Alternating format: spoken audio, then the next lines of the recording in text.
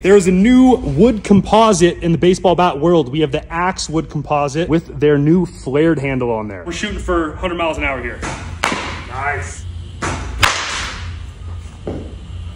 Huh. Huh.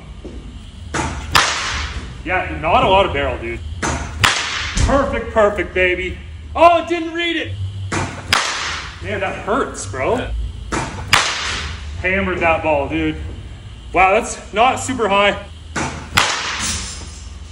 The barrel just looks really small. Like it's really light, but there's not much behind it. Okay, Baum Bat. The sound is so much different. Oh my goodness. Oh.